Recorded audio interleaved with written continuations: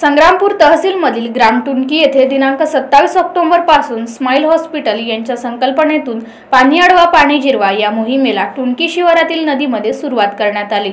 ठिकठिकाणी नदीवर दगडांचे ढीक घालून पाणी अडवा पाणी जिरवा ही संकल्पना घेऊन टुनकी येथील नागरिक गावातील समाजसेवक कामाला लागले.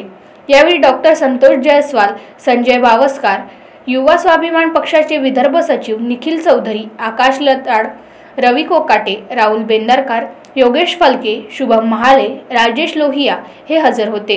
व यांनी एम सी एन न्यूज चॅनलच्या माध्यमातून नागरिकांना असे आवाहन केले की या उपक्रमात जास्तीत जास्त नागरिकांनी मोठ्या संख्येने सहभागी होऊन भविष्यातील पाण्याची चिंता दूर करण्याचा प्रयत्न करावा.